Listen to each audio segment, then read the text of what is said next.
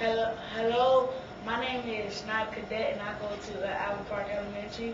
I like to visit the library, um, Fort Myers, Lee County Library System. How old are you? I am 12. And what fun things do you like to do? I like to play football, and actually, I do play for a team. I play for the Eagles, flag tag football at um, Lions Park over there. I, I, I also like to ride skateboards, ride bikes, and play other games.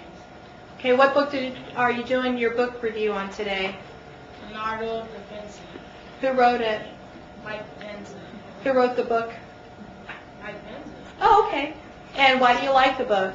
I, I like it because there's a whole bunch of art in it, and then he was like one of the greatest artists that ever lived. After after um, Michelangelo, when at when when I when um when um All right, it's okay. I'll put pause and I can stop the tape and start the tape. Go ahead. um he, he, when when he when he was just a little boy, he was just a um um he was just a little boy.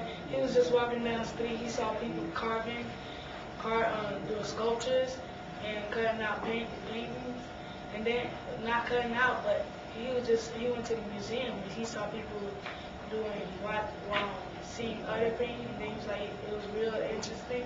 But when he grew up, he began to be an artist, and he and he was one of the greatest artists that ever lived. Do you, do you recommend this book for other people to read? Yes. Thank you. Thanks for giving us the book review on, on Da Vinci. Thank you. Pause.